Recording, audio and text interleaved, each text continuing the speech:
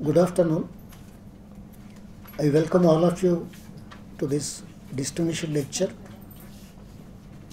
by Professor Filippo Osella, Professor of uh, Anthropology and also Professor of South Asian Studies.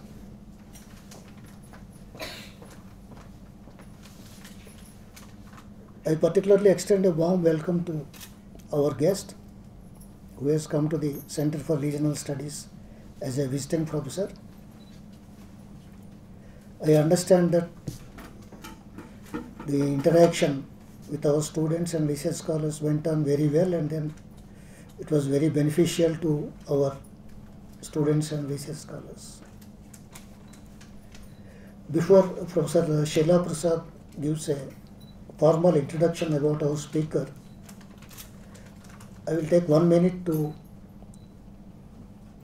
introduce our school to Professor Osella. School of Social Sciences is about 38 years old and it has five departments.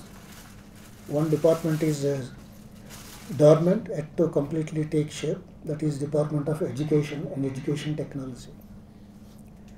Otherwise, we have four disciplinary departments political science, history, sociology, anthropology.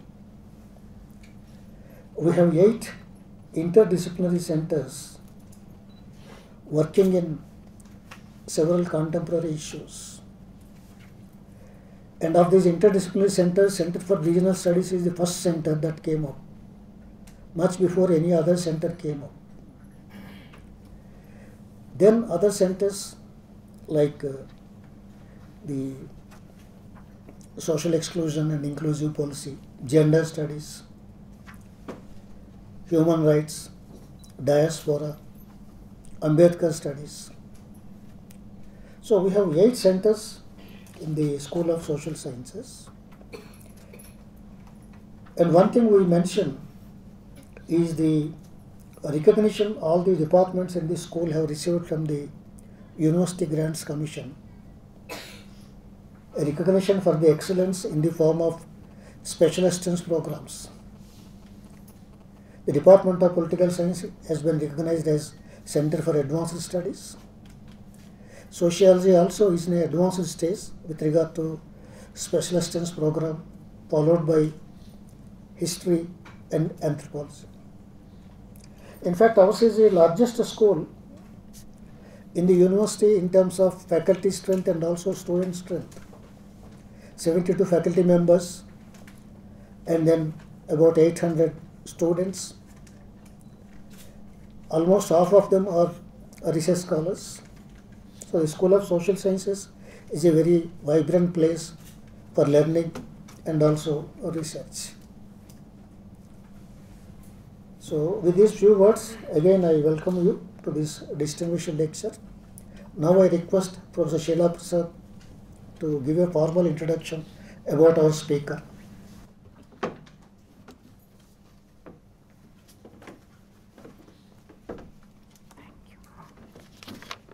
Thank you, Professor Venkatrao. Uh, let me also add to what uh, Professor Venkatrao said and welcome uh, Professor Filippo Osella to both our university and the School of Social Sciences. And I would really like to express on behalf of the Center for Regional Studies and my colleagues and students that for the CRS, we are really, really happy that Professor Osella accepted uh, to come uh, for three days. And uh, we know what, you know, he's got a very hectic schedule. He's been uh, traveling across half of the world China, Dubai, and then I don't know where else before he landed in uh, Cochin and then Hyderabad. Uh, for uh, many of us, uh, Professor Osella's work doesn't really need much of an introduction, especially for those uh, of our friends and colleagues who are from Kerala and who are researching issues of particularly Islam uh, and Muslims in South Asia. Uh, one indication of the kind of reach and popularity of his work is uh, the kind of demands that have been made on his time by research scholars since Monday. And, uh, you know, where uh, he's had to sort of spend his afternoons, mornings, and late evenings with students in different locations conference room crs classroom and then guest house and maybe even the library lawns which was i think further uh, which was shelved because of the mosquito menace. Okay? Uh, so um, but for those of you who are not familiar with professor Osella's work let me give you a not a long formal introduction. You can do that by you know searching him on the net but I'm just highlighting some of his major contributions. Uh, he is a professor of anthropology and South Asian studies at the University of Sussex in England or UK.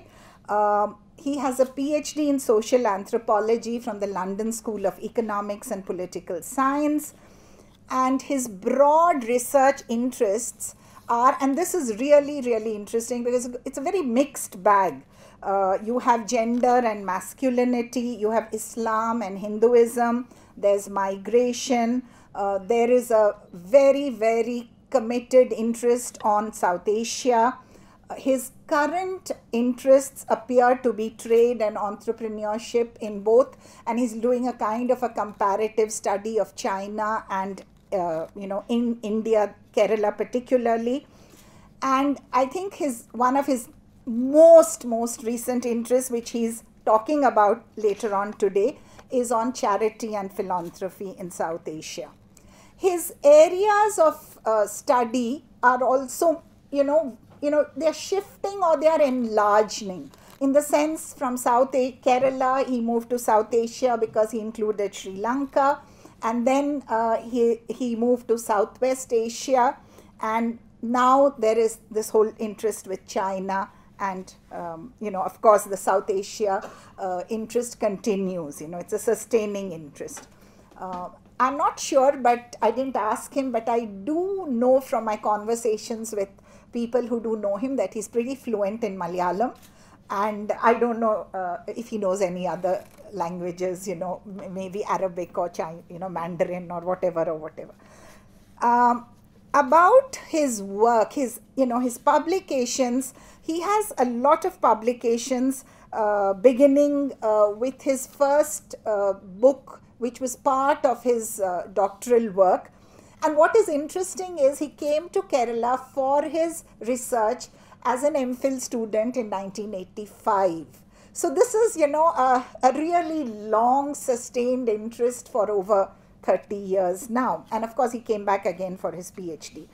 So, um, a part of his PhD work was social mobility in Kerala, and then there have been a lot of other books with uh, other scholars. Uh, I'm just reading out a few. 2017, there is an edited volume uh, with um, which is called uh, Religion and Morality of the Market uh, in 2012 with Caroline Osella, Islamic Reforms in South Asia. And then in 2010, Islam, Politics and Anthropology. Uh, again in 2006, Caroline Osella and Filippo, Men and Masculinities in South India. And in 2004, there's an edited volume on migration, modernity, and social transformation in um, South Asia. And then, of course, I told you about his first book called Social Mobility in Kerala. Uh, Professor Osella is also very actively involved with uh, being on the editorial board of a number of uh, leading journals Journal of Contemporary Islam, South Asia Research, Culture, Society and Masculinities, Religion and Society, migration and development.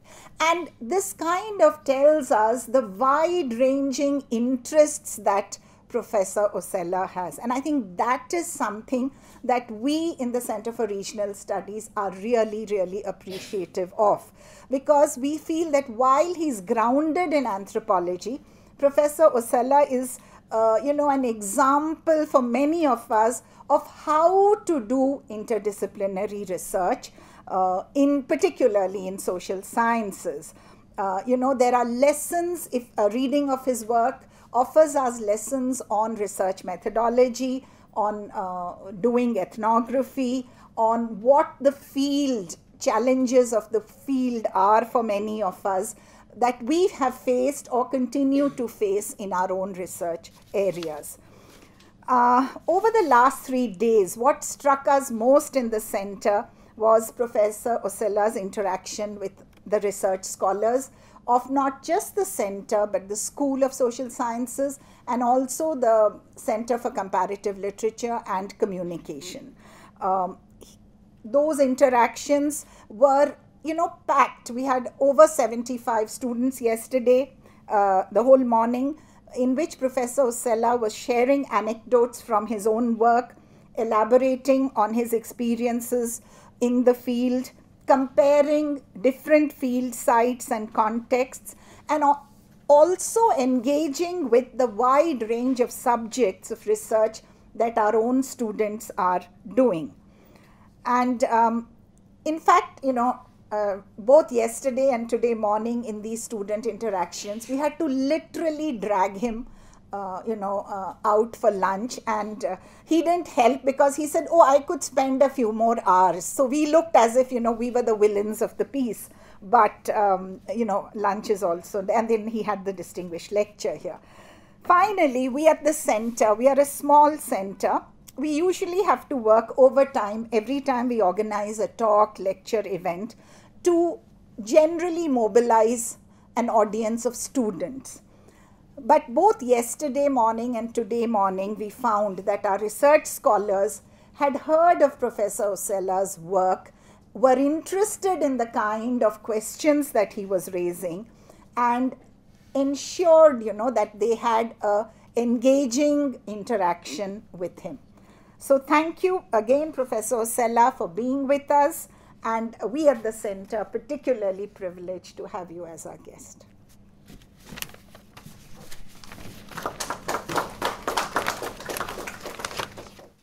Professor Venkata Rao, Professor Sheila Prasad, Dr. Uh, Aravind Sudsala, I, I, would like to thank you for having uh, invited me here. And uh, also I would like to thank, of course, the, the School of Social Sciences and the Center for Regional Study for having given me such a wonderful opportunity, not as much as to present my own work, but to interact with uh, uh your student and uh, your faculty.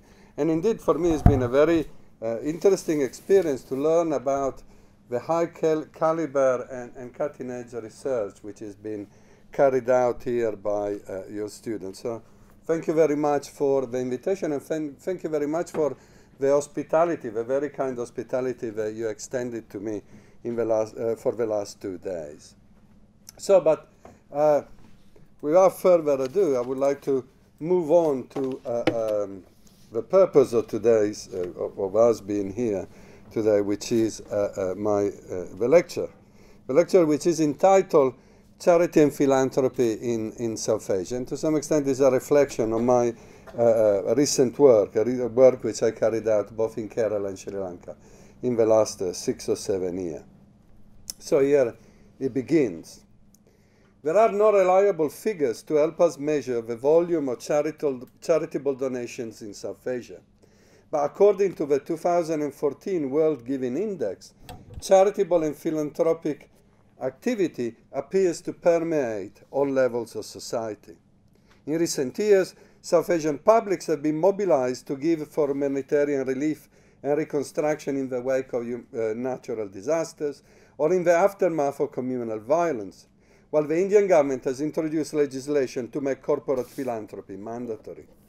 Economic liberalization and consequent redefinition of the scope and range of state welfare across the region has lent a new impetus and significance to organized forms of charitable and philanthropic giving, as a means to deliver social welfare, humanitarian aid, and more generally, to foster socio-economic development. In the meantime, entrepreneurs, IT entrepreneur Azim Premji has pledged close to $5 billion to charitable purposes.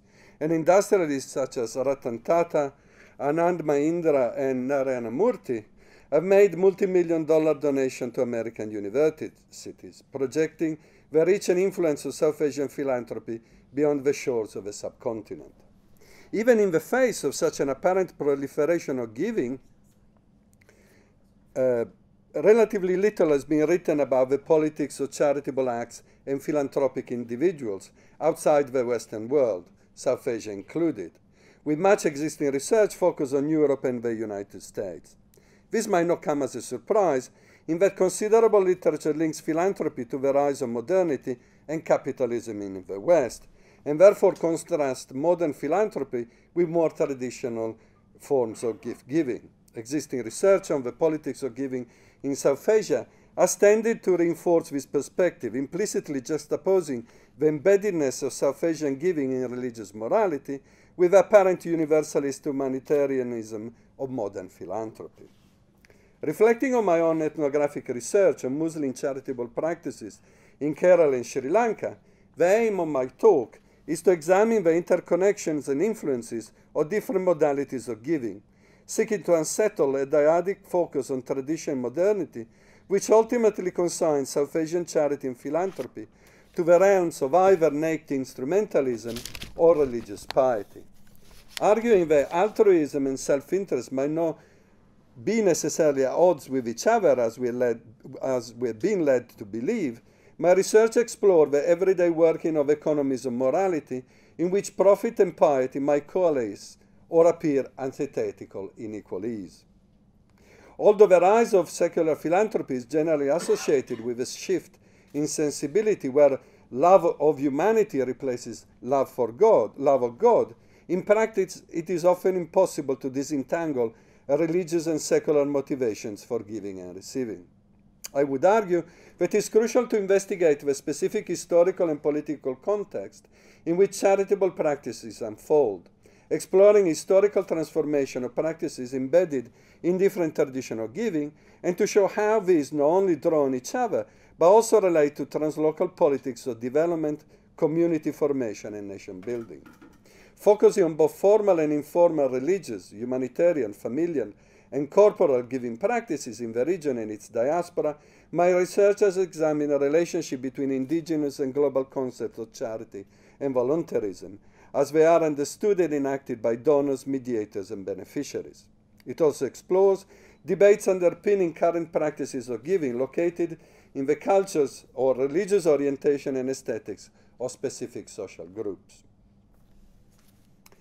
Modalities, ideologies, and aesthetics of giving are constitutive of a wide range of socio-cultural practices in South Asia, from those concerning the reproduction of caste status, kingship relations, and political patronage, to those objectifying specific soteriologies or religious rituals. Indeed, there is a rich vocabulary to define and differentiate the scope and direction of non-reciprocal modalities of giving, as well as their obligatory or voluntary nature.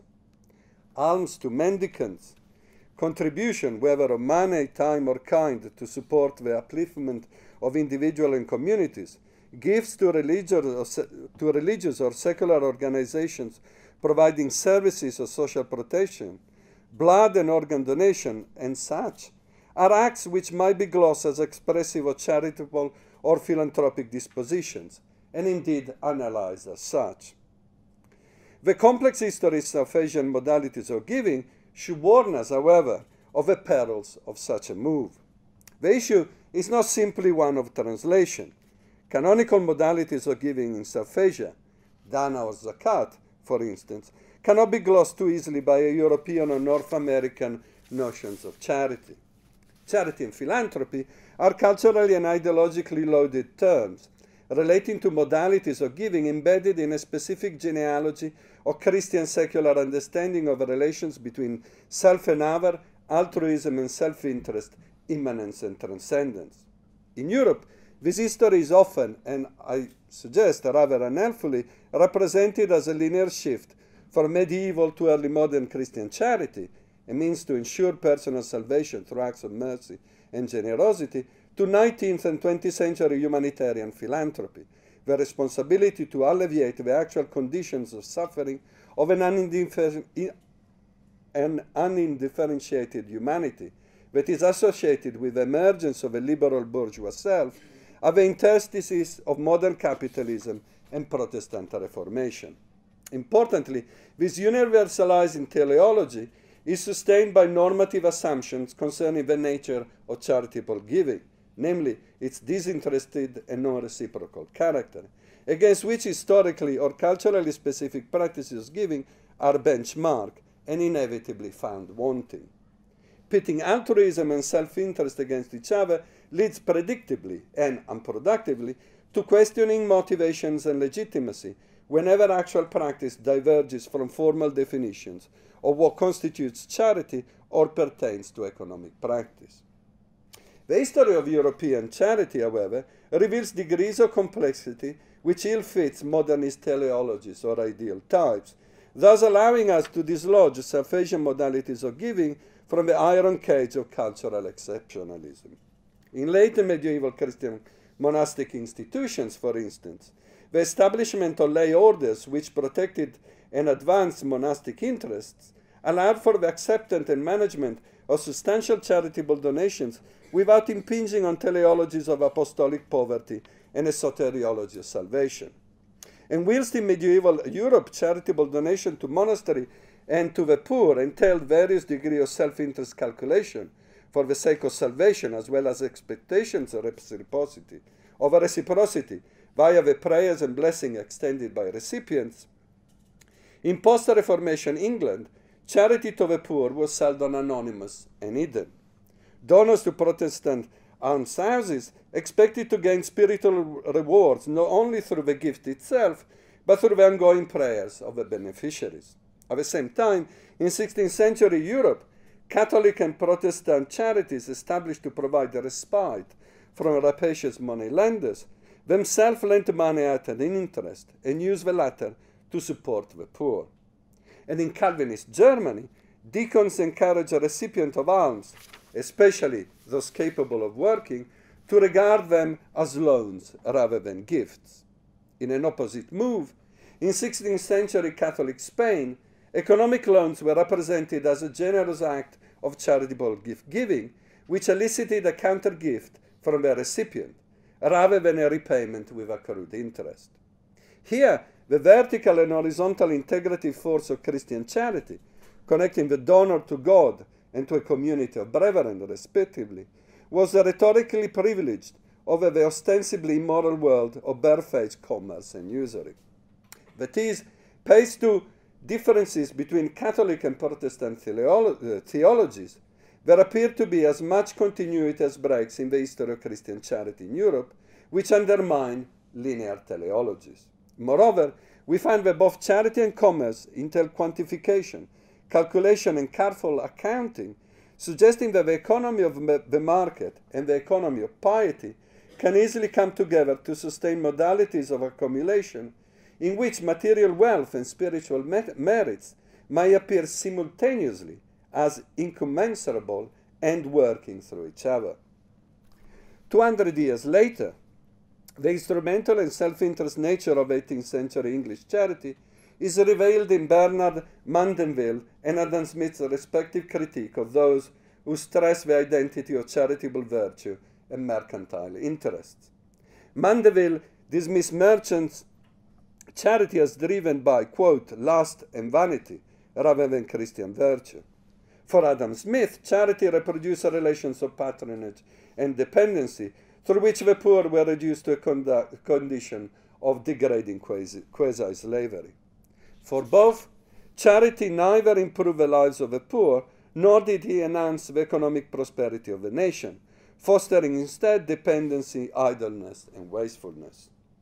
The eventual waning of the moral economy of mercantilism paved the way to the formulation of novel techniques and pedagogies for reforming the poor via moral and vocational education, extended by a plethora of charitable institutions. This is a major theme in 19th century British philanthropy, with its stresses on the deserving poor, which was accompanied by an awareness of a potentially transforming impact of giving, but also the realization this might not lead to changes in the life outcomes of the recipients.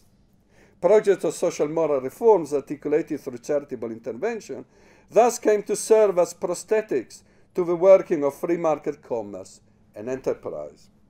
Historically, then, the worlds of charity, economic practice, and political calculation have seldom been apart. A connection that has led some researchers to represent modern charity, perhaps too narrowly, as the handmaiden of capitalism. In fact, religiosity continued to play an important role in various forms of modern charitable giving. So the 19th century German, uh, German Nouveau Riche gave liberally to cleanse themselves of the stink of new money. Here, the transformative, transformative nature of charitable involuntary action is quite clear, making saints out of sinners, absolving the givers of the taint of evil, mobilizing self interest for the common good, or more generally, creating pious subjects for a new Jerusalem. But this transformative effect is not limited to the world of a religious giver. The literature of more ostensibly secular philanthropists, for example, biographies of Rockefellers and Carnegie, are also replete with refer references to the transformative power of giving. Thus, we find that amongst contemporary philanthropists, especially those participating in the tradition of North American individual and corporate giving, animating powerful philanthropic foundations and charitable trust, a rhetoric attributing accumulation of wealth only to entrepreneurial skills, hard work, and virtuosity turns economic success into a moral responsibility to foster the common good. Here, the moral discourse of philanthropic benevolence not only engenders interventions which complement or replace altogether state welfare, state welfare, but legitimizes and naturalizes class inequalities and the privileges of elites whose philanthropic endeavors ostensibly trigger the trickle down of wealth on society as a whole. And yet, the opportunities afforded by charity and philanthropy of making economic success equivalent to moral worth have not been exploited solely by contemporary uh, philanthro capitalists in North America and beyond. From Renaissance Italy and Ottoman Turkey to late Ming China and, as we will discuss today, South Asia, emerging elites mobilized charitable giving not only to establish networks and build social connection or to secure political alliances and elicit allegiance, but also to claim participation in and eventually transform existing hierarchies of status from the tainted position of the upstart nouveau riche. We have seen that in the history of Christian charity in Europe, immanence and transcendence went hand in hand, regardless of theologies asserting the contrary, whilst European and North American philanthropy allow for the simultaneous objectification of projects of individual self-aggrandizement and moral virtuosity. Moreover, the ingenuity of actual practice is such that it can ensure the smoothing out of tensions between worldly passions and otherworldly yearnings. That is, the complex and contradictory history of Western tradition of charitable or philanthropic giving destabilizes attempts to plot South charity on a traditional modern grid, and in so doing allows us to consider instead specific instances through which social actors may bring together or keep apart the apparently contradictory qualities and expansive potentials of giving.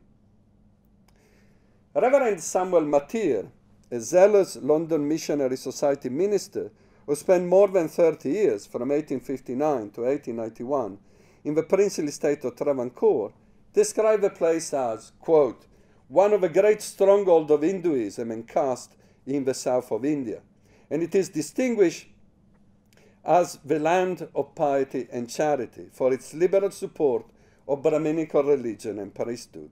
No less than one fifth of the whole annual revenue of the state is expended on the support of the Brahman temples and priests.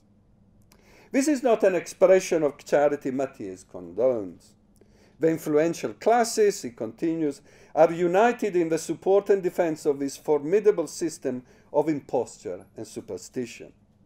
After recounting the grandeur royal festivals conducted at the Padmanabha Padmanabha Swami temple, he lists the substantial expenses incurred from various celebrities to conclude, quote, much evil arises from the gluttony, disorder, and vice incidental upon the attendance of these crowds of sensual idolaters. Mateer's lurid rhetoric is somewhat predictable.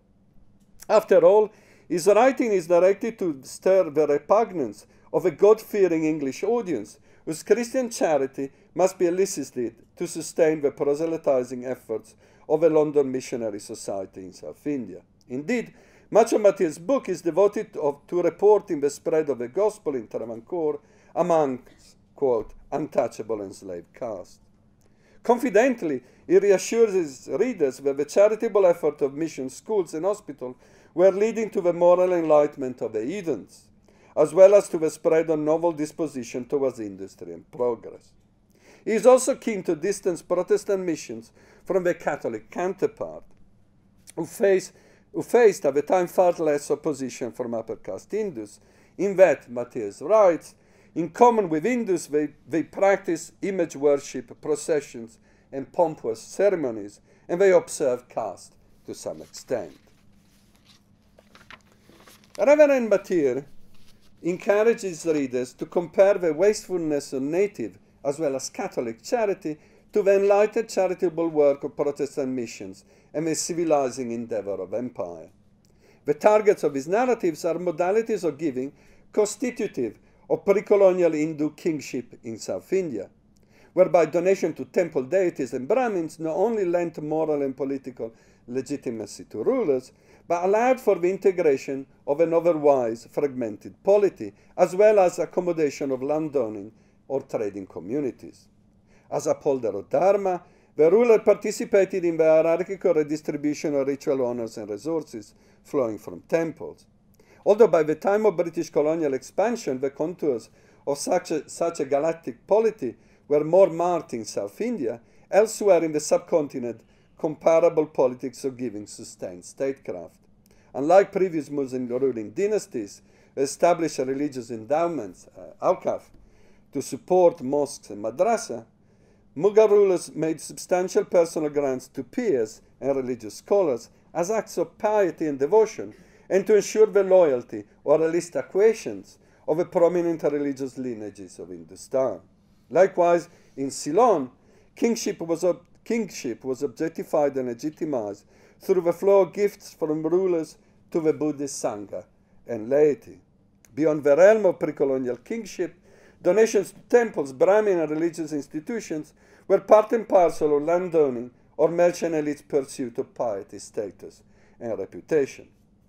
What Reverend Mateer calls native charity, then, was more than a tool for the art of governing, but constituted ontologically and practically actual polities as well as economies.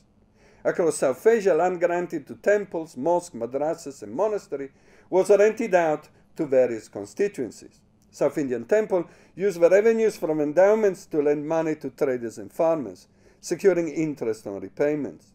Merchants could utilize endowments to family temples and deities as a reserve of capital to finance debts or credit. Donations to temple allow merchants to access novel market and expand trade networks in South Asia and beyond. That is, prior dispositions and economic or political interest did not stand at opposite poles of a moral spectrum, but mutually constituted each other through various modalities of giving.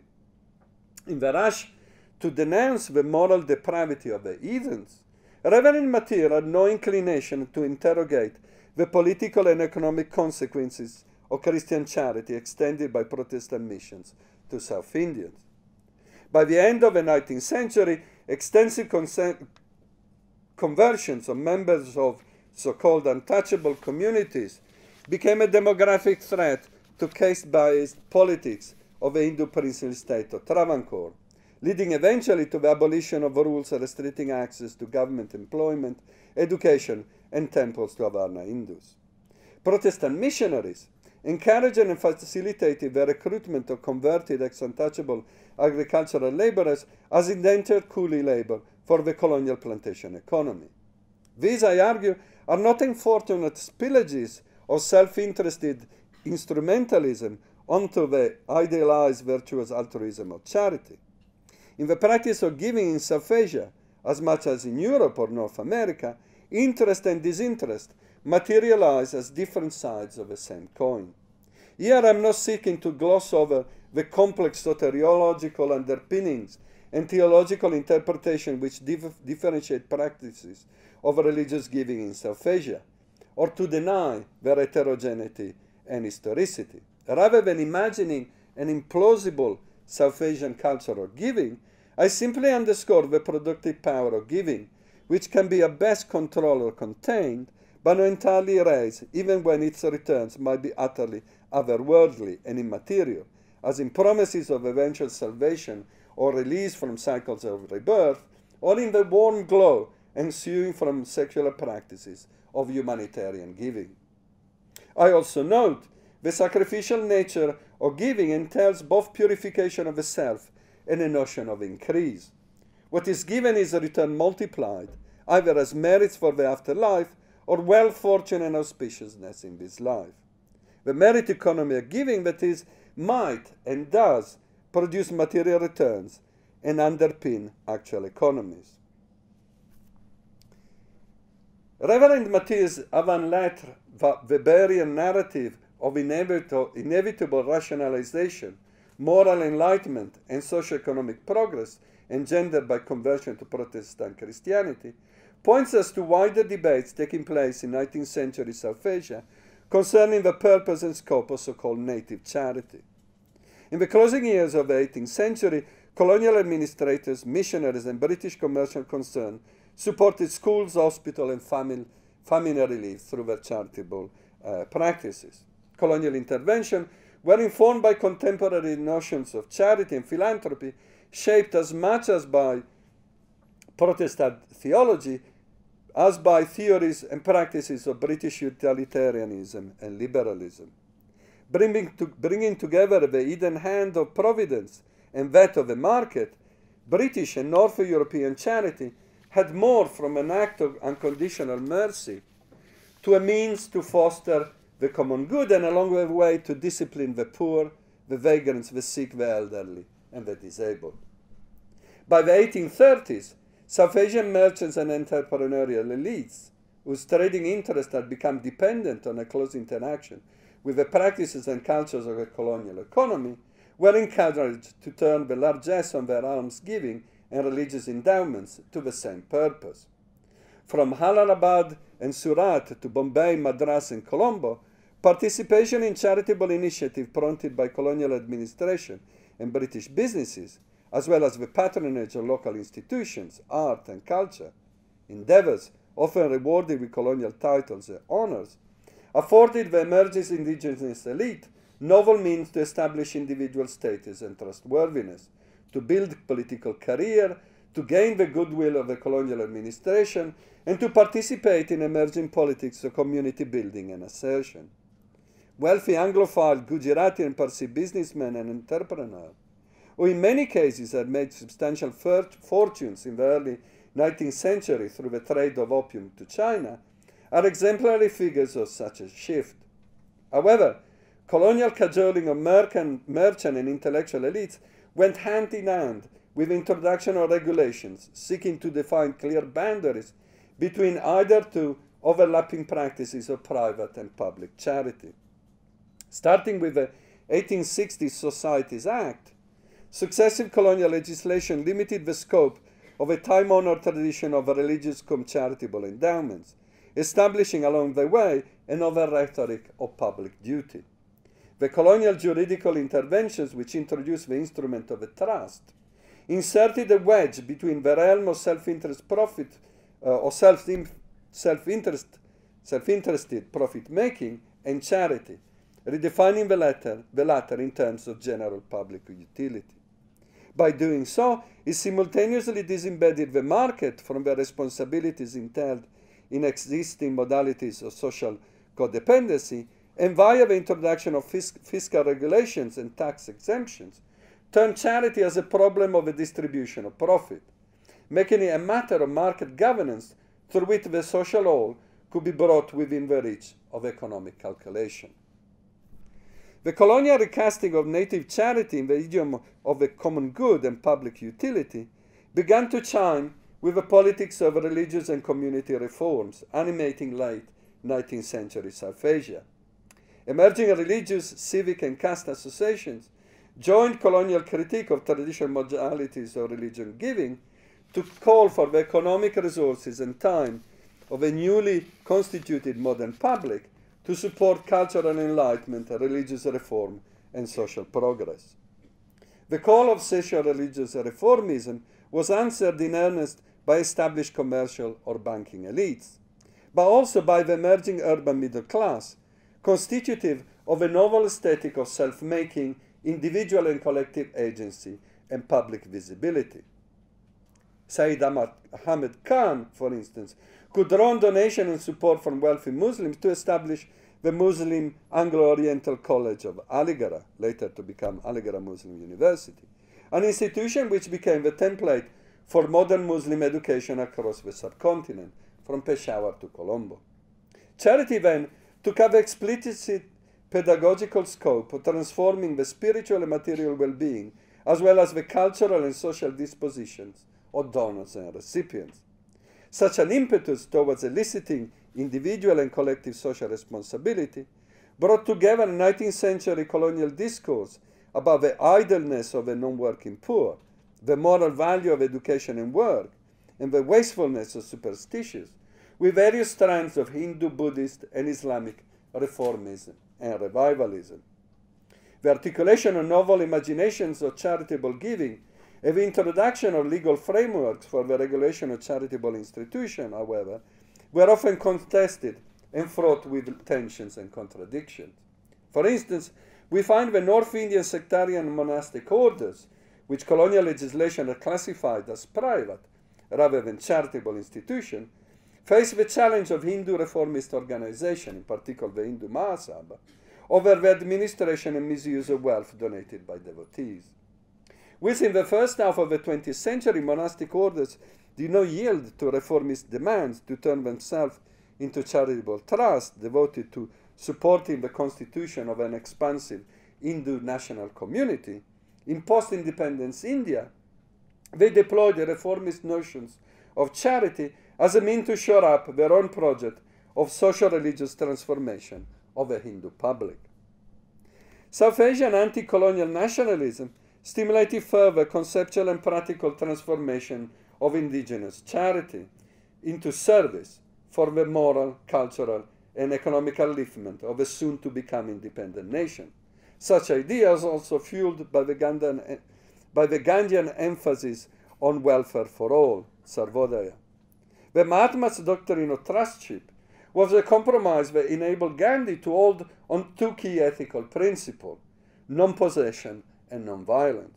The sin of wealth accumulation in the hands of a few could be non violently mitigated by persuading the capitalist that he held his riches in trust on behalf of those who, after all, helped him to accumulate his capital. In his own lifetime, Gandhi had a few spectacular successes in winning over some capitalist acolytes to his cause, in men like uh, G.D. And Jamnalal Bajaj.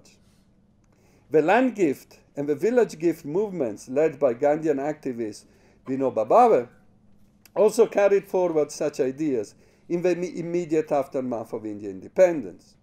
But in a parallel move, the political theology of Abu al-Ala Maududi, the founder of Jamaat Islam, sets almsgiving, zakat and sadaqah, as a means to provide social welfare in a future polity which would be inspired neither by capitalism nor communism, but by Islamic principle of mutuality and redistribution.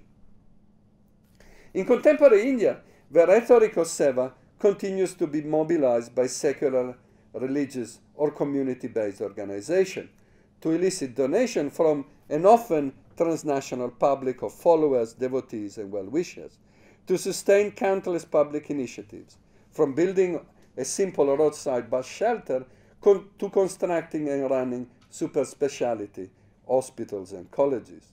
This initiative, as I've argued in my research on Muslim philanthropists in Kerala and Sri Lanka, often bring together market principle and charitable endeavor to deliver services, particularly in the fields of education and health. There is little doubt that the aesthetics of associationism and voluntarism inspired by 19th century and early 20th century religious reformism, nationalist politics, and middle class modernism continue to inspire the rhetoric and practices of contemporary charities. However, much charitable activity often takes place within the ambit of individual religious traditions or communities. This is most obvious where the results of charitable activity are the construction of religious buildings, mosques, temples, and churches. But it is also clear that individual or collective acts of charity tend to link giver and receivers within the same community, or at least they are imagined to be so, to do so. More generally, there is a degree of tension between particularistic and universalistic approaches to charity, and a continual questioning as to whether or not charity should be aimed only to our own or extended to a broader humanitarian constituency. As underscoring recurrent allegations about the possible instrumental use of charity to foster religious conversion, the social body of a post colonial nation interpolated and mobilized through charity is indeed experienced in practice through the lenses of community, religion, or region.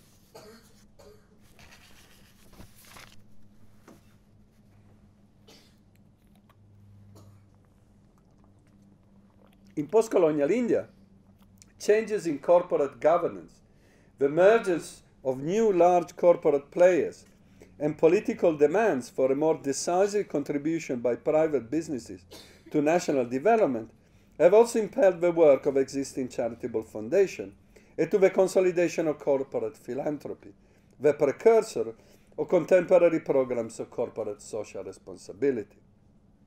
Take the case of a transnational corporation such as Tata, whose founding partners were Parsi. One of India's oldest, largest, and most established companies, Tata has been engaged in philanthropic activities since its establishment in 1868. Instrumental not only in the development of India heavy industry, but in the funding of the independence movement, Tata enjoyed a closer relationship with the Indian National Congress since its inception. And in post liberalization India, it has become a standard bearer for corporate social responsibility. The new philanthrocapitalism, which encompasses corporate social responsibility, promises an alternative to state led development in which the social and environmental cost of rapid industrialization might be well ameliorated by business itself. Corporate social responsibility is often presented as a radical break from colonial forms of industrial philanthropy and post colonial paternalism. But like its predecessor, it continues to be a means to negotiate relations with state and market and to objectify pious disposition. The genealogy of legislation regulating charitable organizations in post independence India suggests that the apparent continuities between pre colonial charity and contemporary corporate uh, philanthropy are built, firstly, on a radical separation of charity from profit making, and later on the imbrication of the former into the latter via the articulation of a nation of general public utility, at the core of a modern charitable trust. In contemporary modality of corporate so social responsibility, then, philanthropy becomes a technology of neoliberal governance through which the rights of citizens are mediated by the responsibilities of corporations, portrayed as trustees of a nation's wealth. By folding philanthropy into the working of corporations and business, in recent, recent legislation, the object of corporate social responsibility interventions are no longer imagined either through the intimacy of kinship and the hierarchical mutuality of caste and community, or the political boundaries of the nation, but as members of communities that are understood as a, the environment of business. We should be aware, though, that whilst in practice, the whilst practices of giving have historically contributed to projects of self and com community making, they have done so a, on a translocal and transregional stage.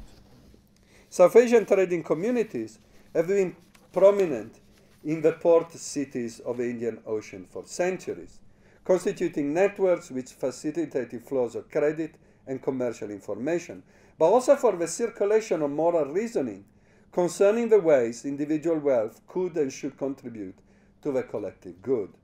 South Asian religious endowments and charity might be extended as far as the Arabian Peninsula to objectify and assert partic- participation to theologies, cultures, and politics of a trans- trans-regional ummah. And here we can think, for example, when Nizam of Hyderabad's uh, uh, charities established to sustain pilgrims to Mecca.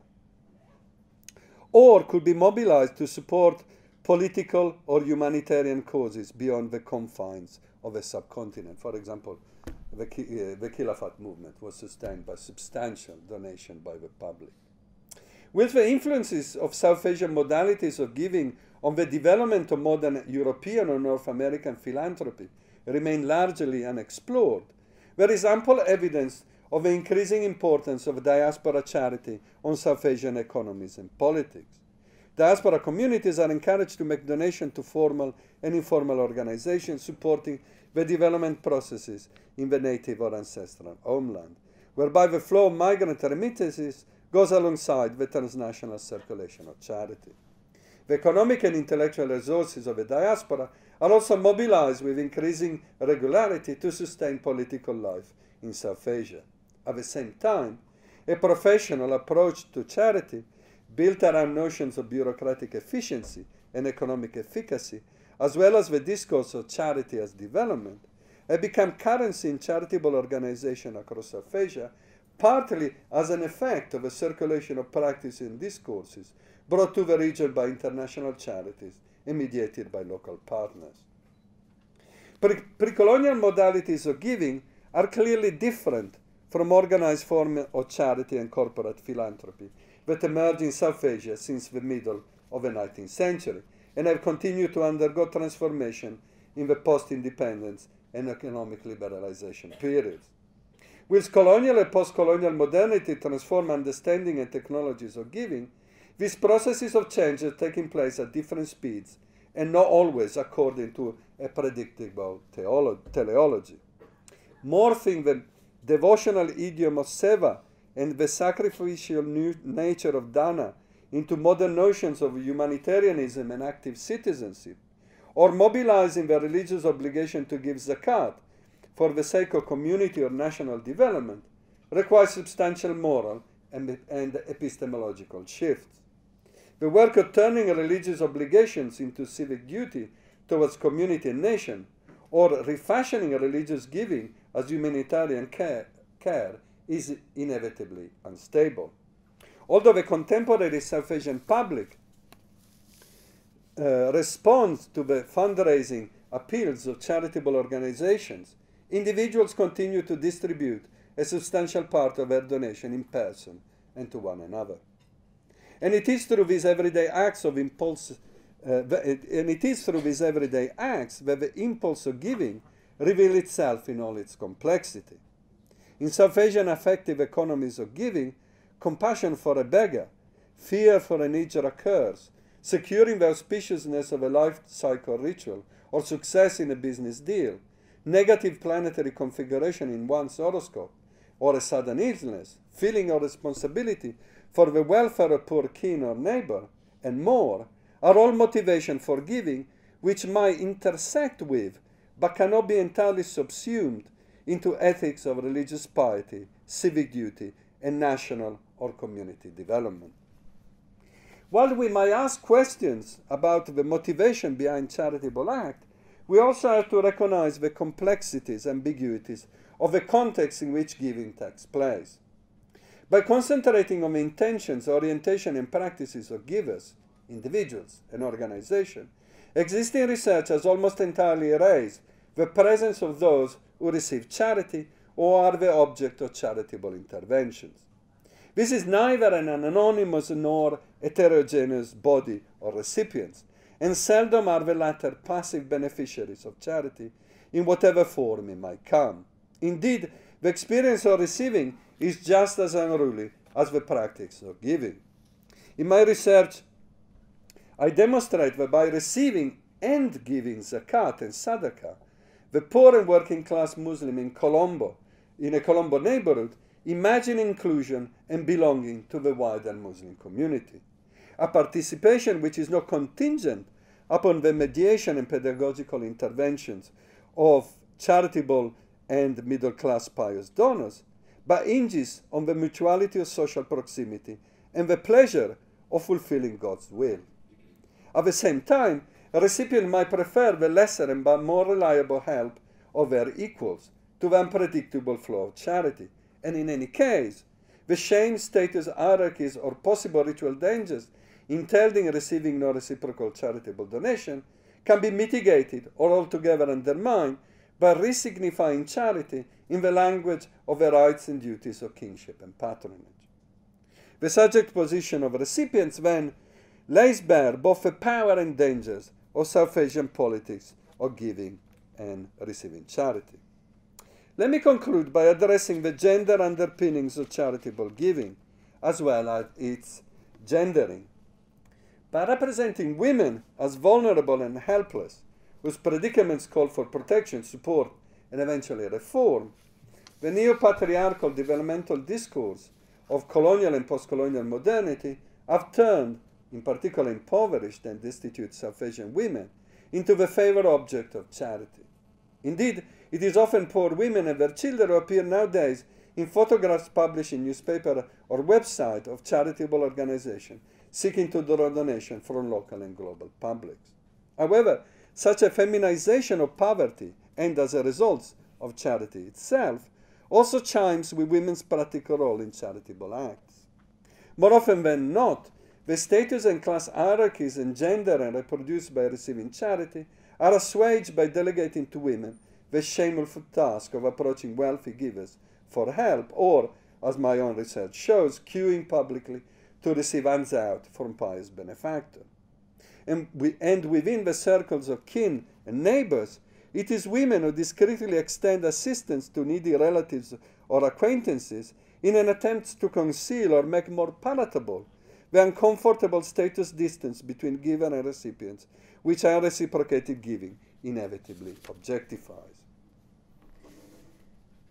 Given that South Asian women have been represented as passive recipients of charitable intervention, it comes as little surprise that the generous patron who mobilizes various modalities of giving to ensure clients' allegiance and to build political alliances is invariably represented as male, the iconic South Asian big man. With some studies have explored the expansive masculinity engendered by such a politics of giving, little is known about South Asian women as givers and donors. Historical evidence suggests that in pre-colonial South Asia, royal women as well as women associated to temple worship could and did support a variety of religious institutions through grants and donations. The ascendancy of colonial forms of charity saw South Asian women participating enthusiastically in philanthropic initiatives alongside their wealthy husbands or male relatives, albeit at times independently from them, to embody a gender aesthetics of compassion and benevolence which satisfied the demand of modern class respectability and sophistication. The world of upper caste and wealthy benefactresses eventually blended with Gandhi's call for Indian women to join the independence struggle by doing seva for the nation as a whole. Arguably, this practice of civic engagement not only opened up the public sphere of civil society to women, but laid the foundation for social work to serve as a gateway for the political career of women. Novel configuration of seva, service, that is, have become a means through which women can engage with and participate to political society. We have seen that although charity and philanthropy cannot be reduced to epiphenomena of political or economic relations, neither can they be separated from hierarchies and interests engendered by the latter. Whether driven by piety, humanitarianism, or, or barefaced instrumentalism, charitable acts participate in the constitutional reproduction of economies and elicit, and, and elicit implicitly or explicitly specific disposition and subjectivities which can be mobilized as tools for governing donors and recipients alike. Charity and philanthropy might allow for the objectification of, of ethics of compassion for the destitute, provide a degree of social protection for the poor, sustain the development ambitions of communities and nations, or more generally, promote the common good. But the resources mobilized through charity and philanthropy might be extended selectively or withdrawn at the whim of a giver, locking recipients into hierarchies of status, gender, class, and power within communities and nations and beyond. Indeed, this is a far cry from the ideals of right based citizenship underpinning post colonial state welfare. And yet, as neoliberal reform blur the boundaries between beneficence and state led provisions of social care and protection, but drawing charitable organization and corporate social responsibility programs into the delivery of, of services or development programs, for instance, charity and philanthropy, and the politics of subjection and subjectification they entail, well, became even more visible in the everyday life of South Asians in the years to come. Thank you.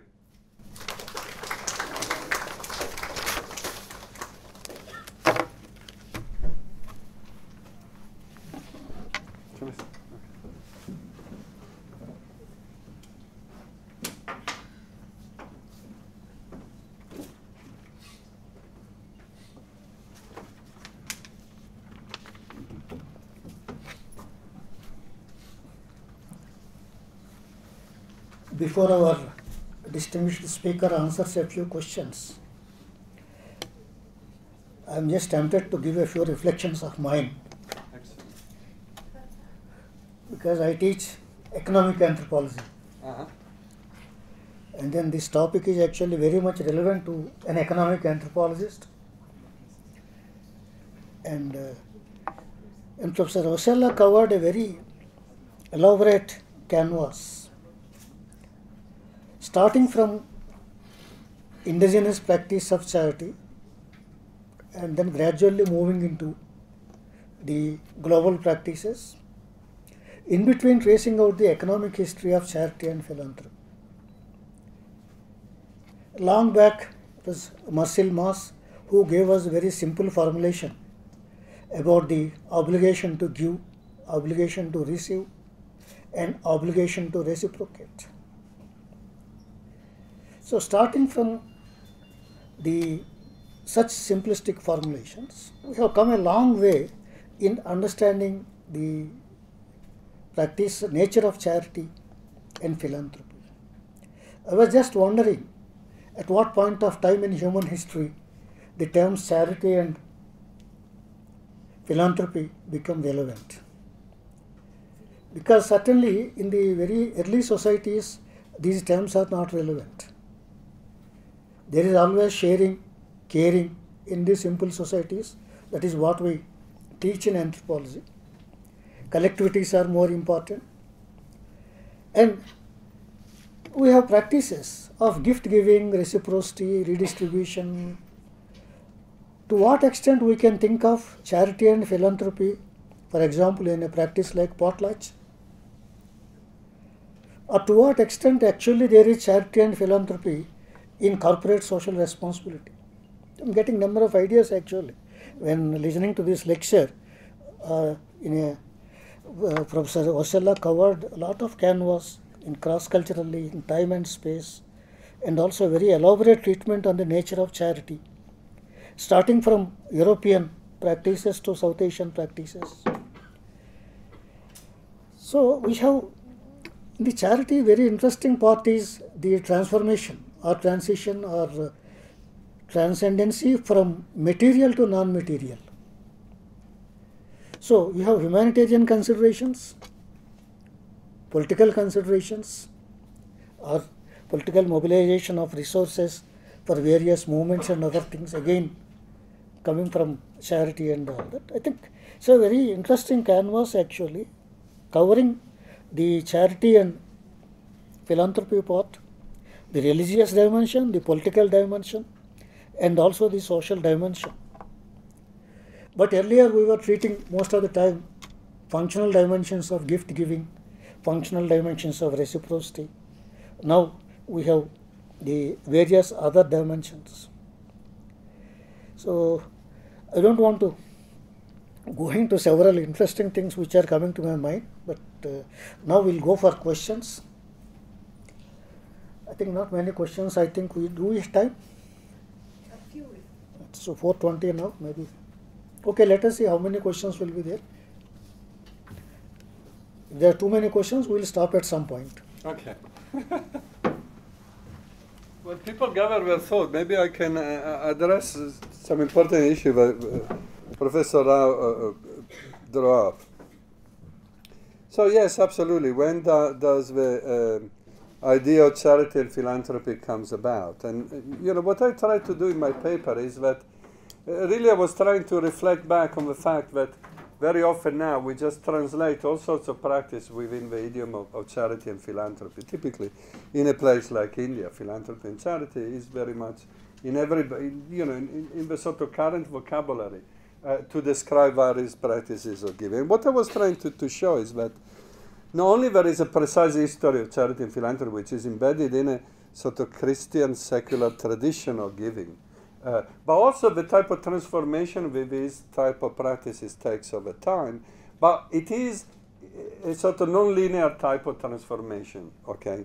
And I think it's very important to, to, to bear that in mind because I think otherwise we always end up locked in this way of thinking whereby we say, well, you know, in Europe or the West there is charity and philanthropy, and in India there is gift giving.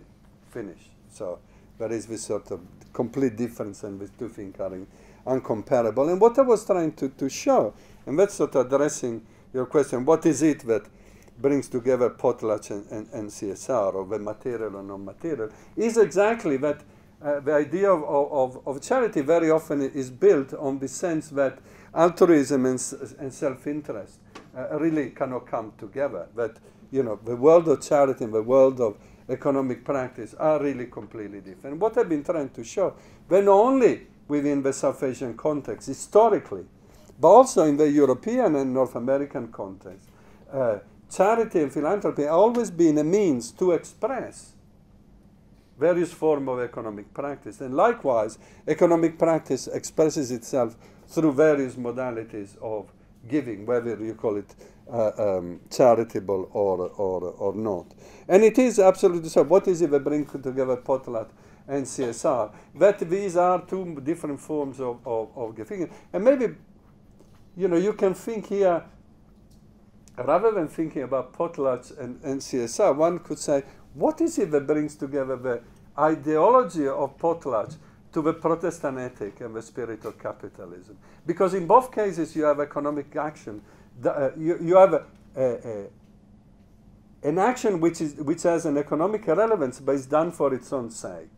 Okay, so perhaps when we begin to think in the terms and, and, and move away from this contraposition between altruism and self-interest, then we have a wider comparative framework to begin to understand as to why uh, nowadays we're so preoccupied with charity and philanthropy, and why is it that we see charity and philanthropy as the means through which we can redress the shortcoming, the shortcomings of capitalism.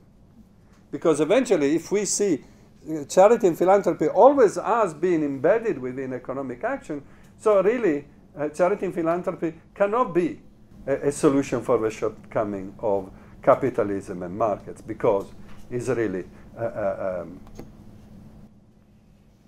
trying to solve something with uh, the same means that have created the problem to begin with. Uh, so it doesn't work. Sometimes we can see charity and philanthropy as investment also. Yes, yes, yes, yes, yes, absolutely, absolutely. And I, I, you know, that is, you know, I didn't have time to elaborate in my in my research, but I mean that was uh, clearly uh, uh, uh, one of the ways through which uh, Muslim entrepreneurs and, and, and shopkeepers and businessmen, in, in particular in Colombo, also in Kerala, talk about uh, giving zakat and sadaqah as an investment and as a form of insurance for their business. As an investment whereby you give and, and something comes back to you in, in, in, in, in a much bigger form, and as an insurance, so you protect yourself against bad things that can happen to you. That's why I think I begin to think about charity and philanthropy through the lens of sacrifice. Because in, in, in the sort of a logical sacrifice, there is also an incremental logic. You know, I give something which is always, you know, something on myself. But this, what I give, it always comes back. In an, you know, there is always a profit, which is accrued through sacrifice, if you like. Hinduism, it comes in the next life. Not only, not only. It comes in this life as well. I mean, there are different forms of sacrifice which have more immediate effect. Like, for example, when you donate money because you want your son or daughter to pass exams. You cannot wait for your son and daughter to pass exams in the next life. You want something much more closer uh, to, to the time. Yeah? yeah. Okay. Um, that was really very enjoyable, especially your effort to avoid a reductionist reading of um, charity. Um, but I wanted to reflect on this from uh, the standpoint of my own work on Vinoba's Bhudan.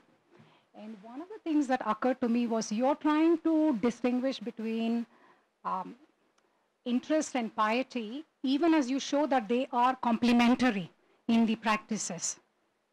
But I, I'm wondering whether we need to add something else here. So there is the ethics of pity, which is why people have been very, very reticent to work on practices of charity, the ethics of pity. Um, and then you're, you're of course saying that we don't have to see the um, humanitarian um, practices as some, something completely devoid of religious merit, that these can go together. But I came across um, instances when I was researching on Bhudan where many people give out of a sense of plenitude. And Vinoba, in fact, when he wants to, when he has to extend this, people often said, people came to him and said, why do you think we poor people cannot participate in this dan thing? And that's how he came up with Shramadhan, which is uh, donating effort. Um, so I think uh, maybe we should add that ethics of plenitude because there it is not just otherworldly merit. And it is also not just pity. It is a sense of being bestowed. You know, the gift pledge that Warren, uh, Bill Gates and uh, Warren Buffett have started. I think that's also very similar. We have so much and we would like to share. There is some idea of the flow of wealth and cosmic plenitude that I think is also at work in uh, moving the people to act, uh, not just formally but informally. So I just wanted to throw that in there. And there, I think it's um, apart from plenitude, probably as part of plenitude, is the esteem for the donee rather than just pity for the donee. And Maria Heim, I think, has done some work on this ethics of esteem, right? yeah. Yeah, yeah. Oh, Uh, y- yes, I mean, what can I say? You're, you're, you're right, giving for plenitude. Uh, yes, and to some extent, the literature on, on uh, you know, the classic South Asian big man is very much about uh, giving by plenitude. Even, you know, sort of some of the literature on, on um, Hindu uh, kingship, it is about uh, giving uh, out of plenitude. And very often we find that in, in uh, also the relationship that uh, people establish with deities, you know, the sort of goodwill and, and the blessing of deities comes out of, you know, they flow out of, out of their, their, their, their plenitude and, and, and all that. You're absolutely right that there is far more to be said. And, you know, and that I think uh, to me was quite revealing when I shift my attention from those who give charity to those who receive charity. But actually, I found something which was totally unexpected to me, partly because uh, uh, within uh, um, Islam, for example, the giving of zakat is an injunction uh, for only for certain people, those whose wealth ex- exceed a certain uh, a, a certain limit.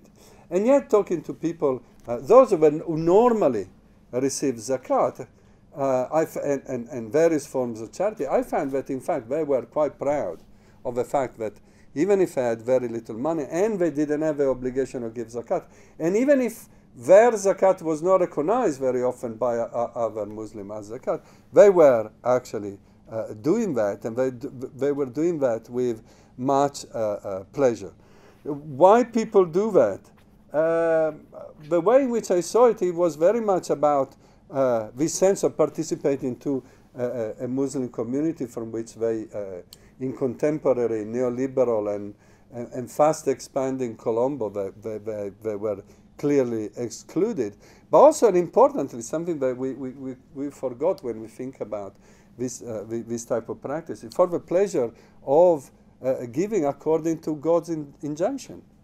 You know, we, I'm giving because I like it. You know, I feel like uh, I'm a gives me satisfaction because that's what uh, God tells me to do, and, and I do it. Even if I even if I have you know, in fact, I write in the paper. Even if I only have 10 rupees, I, I will give. And people would give. And actually, interestingly, although we very often we, we concentrate on the big philanthropists, people who give, you know, millions of dollars or billions of dollars for charity, worldwide, it is actually poor uh, people who give far more than others. Okay, people who give uh, money when they come out of a church, uh, people who would give money to beggars when they come out of a temple or, or, or a mosque, etc. These tend to be very often poor people or people of very, very limited means. And it is very often their collective efforts they make on uh, uh, for the wealth uh, uh, that is accumulated by international organization. Right? So when we have an organization like Save the Children that can operates and set themselves as, you know, the charitable organization, the NGO that uh, does all sorts of intervention. In fact, that's very much the effort and the donation of very small people uh, uh, uh which are put together. And interestingly, they're completely erased in this process.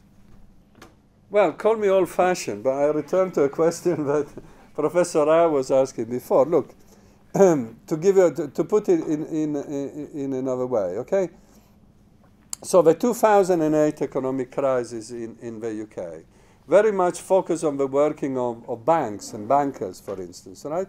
So these guys were uh, uh, accused, they st stood accused very often of having been, to have done illegal activities, and having done illegal activities very often because by trading with each other, by knowing each other. So there was this, this sense that, you know, the market practices should be disembedded completely in order to avoid uh, uh, the perils of corruption and all that. But how do you do that?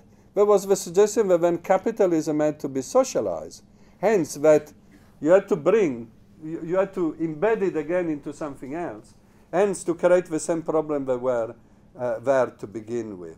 In other words, that's why I say, call me uh, uh, uh old-fashioned, but I don't think you know, there, there might be good capitalism uh, uh, and bad capitalism, but it's still capitalism. It's still, it's, it's still a, a modality of, of, of, or, or a way to, to uh, accumulating wealth, using wealth. Using for example, if we have to design a vaccine, mm. see, uh, you know, inclusive uh, or like, you know, thinking about how much poor can afford, how much.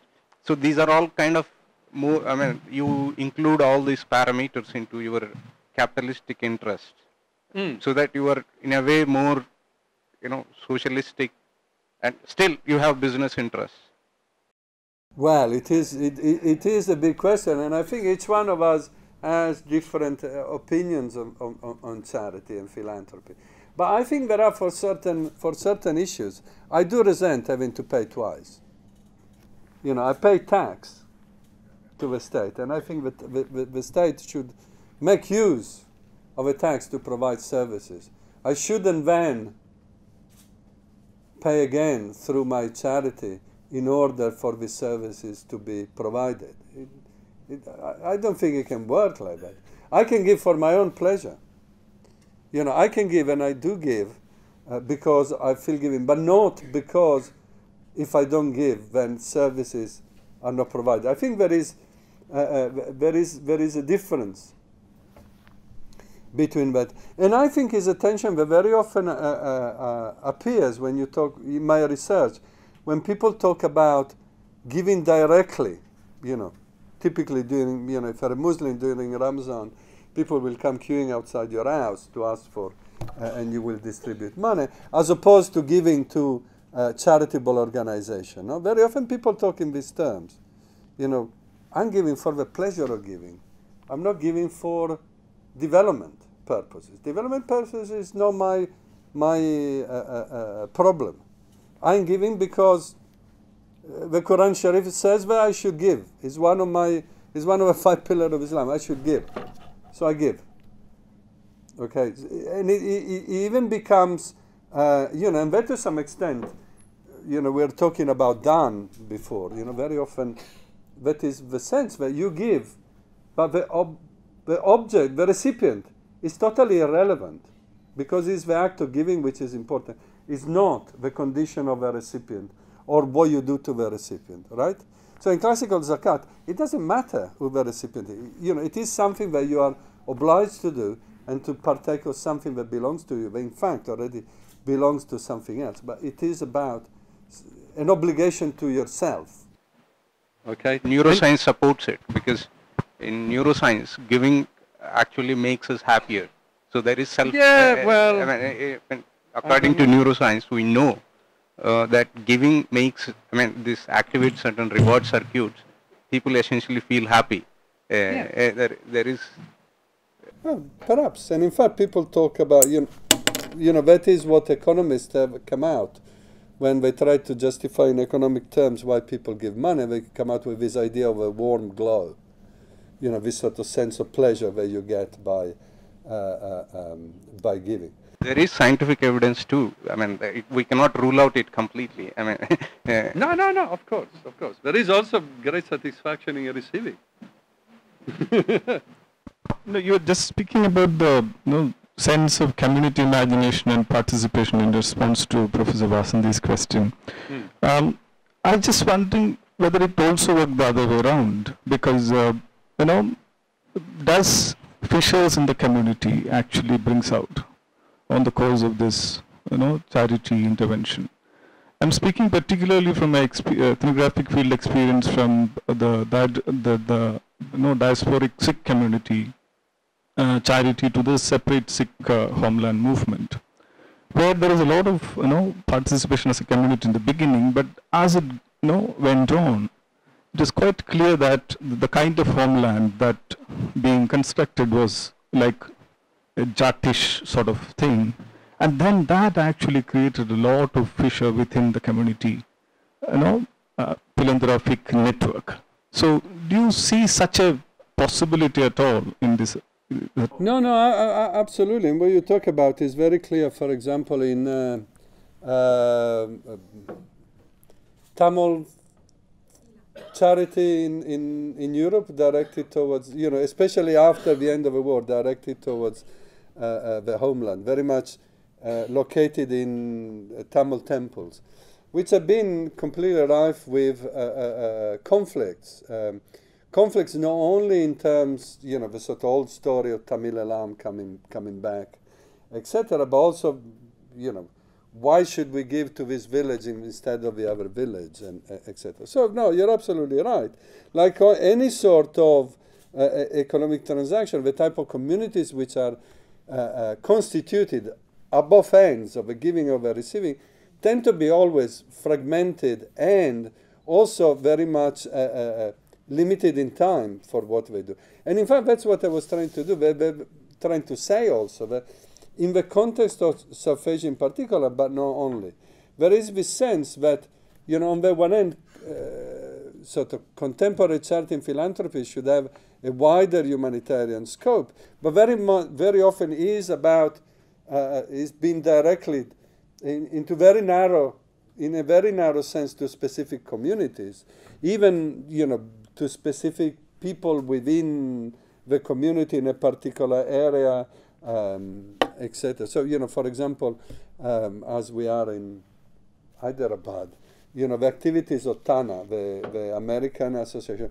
was very much directed not to the wider community, but of course only to specific uh, caste cluster uh, uh, within uh, within Andhra. Even within this caste cluster, within these particular uh, areas, uh, uh, etc. So it was very much about you know the reproduction or eventually the reproduction of caste privilege. Now, of course, Tana is split into into two. There is the Telugu, um, the Telugu and the Andhra part, but it tends to work in, in that particular way. Although, of course, there is always the rhetoric of, you know, we are doing it for, for the welfare Now of we have a all. separate association for Telangana. Yes, yes, yes, yes, yes. There are two associations. Telangana association is separate. Yes, yes, from the Andhra No, Association. Nata. Yes, yes. But these are also very active. You know, these guys are, you know, over the years have mobilized millions of dollars. Um, last scholarship and education. In India, many children are taught from their childhood that uh, your hand should always be above rather than below. That you're in a position, you should be in a position all, uh, of uh, giving all the time rather than taking and seeking from some, from anyone else. So I felt that why when we start an entrepreneurship or when we start with an agenda of making money also, first we think that we, go, we should go on making money and at the end of the time we should give it back to the society. So we loot from someone else and then we give to someone else who making them lazy or something else. Why don't we consider the idea of social entrepreneurship?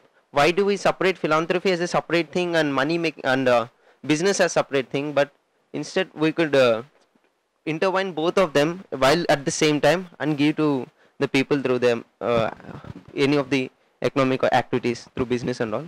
Second thing when when anyone is willing to give money to the people uh, either there is a ralph waldo emerson once said that uh, this, there is always something quack air, uh, there is always an air of quackery of when we talk about charities and philanthropies.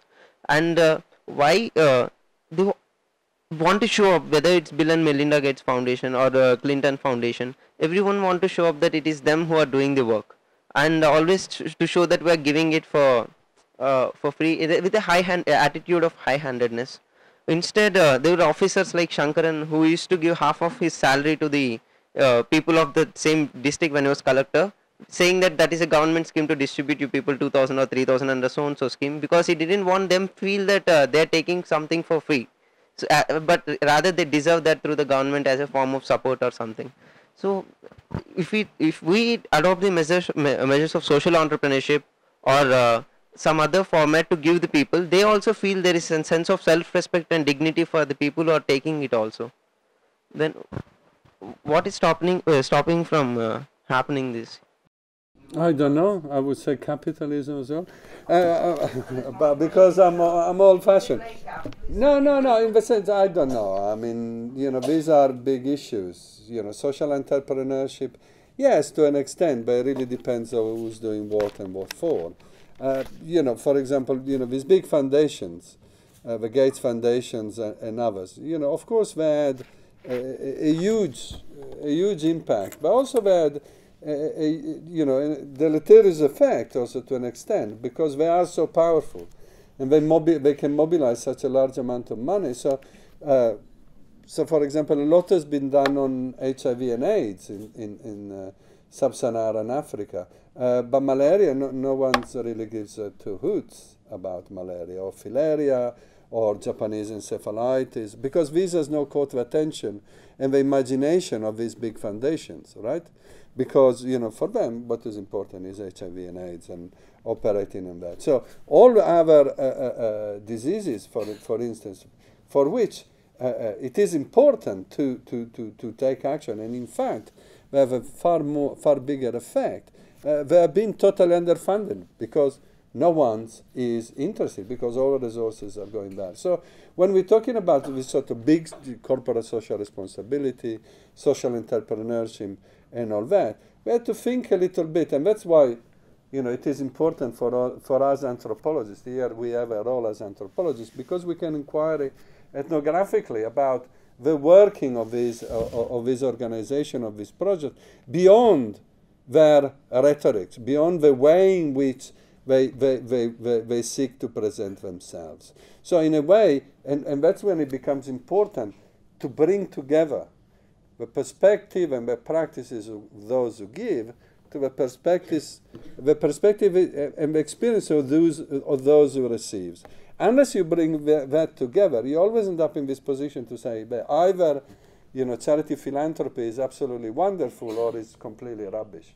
Uh, but it's only, in fact, by uh, uh, empirical inquiry that we can establish how these organizations work and, uh, and, and what they can and they cannot do.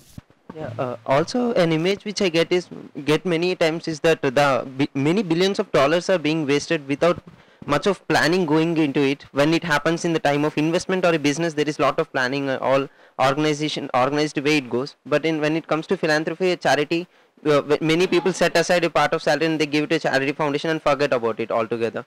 So.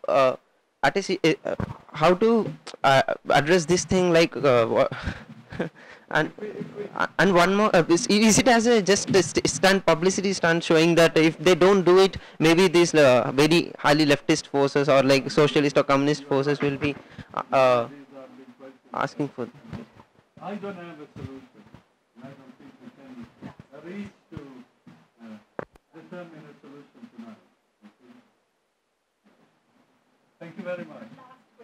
Okay. Uh, hello, sir. Um, my question is just tell me your opinion. Uh, if I say char- charity and philanthropy is uh, done because of coercion, Done because of coercion, because of force. Coercion, yes. Sometimes it's done, well, you know, in certain contexts there is the obligation to give. You know, whether you call that coercion or not. I mean, if in, in certain uh, uh, Christian churches is an obligation to, to give uh, in different ways, but it, it is an obligation and it is public. Giving zakat is an obligation. There is no coercion to do it, but it is an obligation.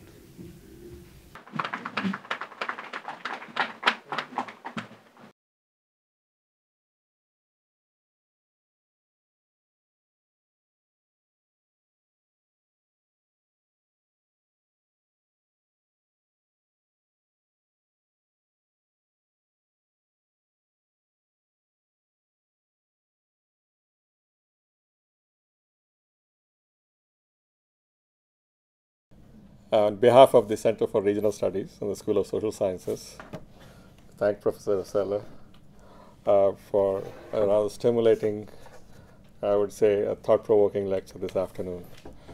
This was indeed a, a de force uh, lecture this afternoon and uh, on charity and philanthropy.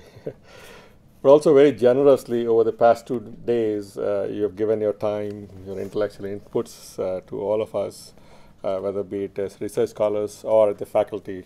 And uh, thanks to you all uh, for doing taking the time, and I appreciate uh, all that you have done this past three days. Uh, I also thank the, the Dean Social Sciences, Professor Venkatrao, for presiding this afternoon, this meeting, uh, for this proceedings today. I also want to take the opportunity to thank the Vice Chancellor for uh, making this visit by Professor Osella to be a possibility. We were assisted for this afternoon's program to be uh, in a big way by the PRO and the PRO's office and the staff. Uh, so did the staff of the Vice Chancellor as well as for the Dean uh, in the social sciences and many others, uh, some named, some not named, for the logistical purposes as well as for organizing this uh, distinguished lecture. Perhaps the best part of this task of vote of thanks is to I get to thank you all for making your presence this afternoon at this place and keeping this campus a very vibrant one. Thank you all for coming this afternoon, and thank you all for again for making this uh, a wonderful uh, lecture, and also for the past two days and three days that you have been with us uh, during this visit of Professor Osella.